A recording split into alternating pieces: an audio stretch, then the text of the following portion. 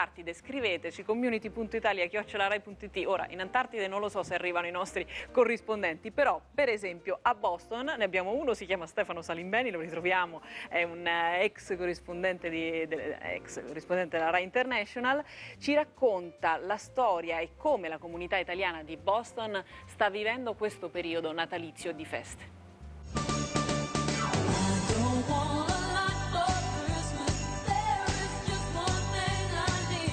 Nonostante Babbo Natale arrivi in elicottero e sfili in parata per le strade del quartiere italiano di Boston con personaggi che con le festività ben poco hanno a che fare, la comunità, dagli oriundi di vecchia data agli emigrati più recenti, non sembra voler rinunciare alle tradizioni di casa propria.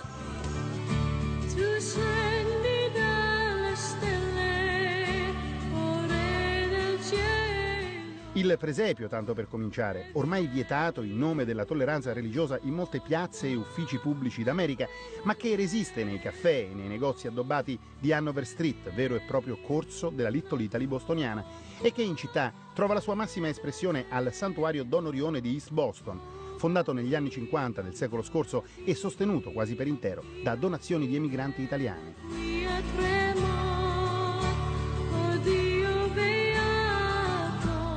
Ma è un continuo via vai. La gente viene per, per salutare la Madonna e ovviamente scendere giù e vedere il presepio meccanico che è stato la ultima realizzazione del nostro padre Rocco. Come è vissuto il Natale dalla comunità italiana qui a Boston? È molto sentito. Il ricordo del Natale al loro paese riaccende il fervore.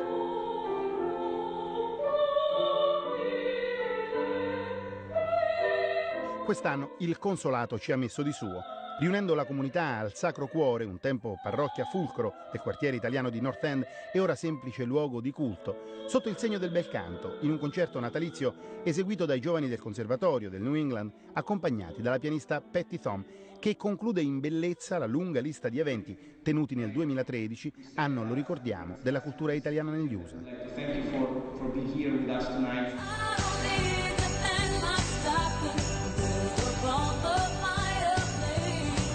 E dopo aver nutrito lo spirito, le suggestioni natalizie, si sa, qui come altrove, passano per il palato. Così, sotto le feste, la ricerca dei sapori italiani autentici diventa più intensa e approfondita che mai. Strufoli ne vendiamo tanti, i mostaccioli adesso in passato ho fatto la prova e sono bellissime, non li ho finite. Domani mattina con cioccolato e senza cioccolato, e staralli, non è più come una volta, la gente va fuori, va in Italia e naturalmente provano, vengono e vogliono. E lei glielo dà? Eh, certamente.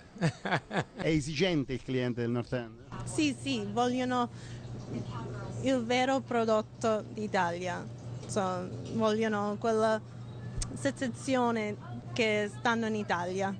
Dal nord al sud, uh, assai prodotti di Puglia, ci stanno le panettone del, della Sicilia con uva, panettone di Napoli. Noi qua aiutiamo per cucinare questo pranzo buonissimo e tradizionale. Che cosa mangiano gli italiani di Boston a Natale?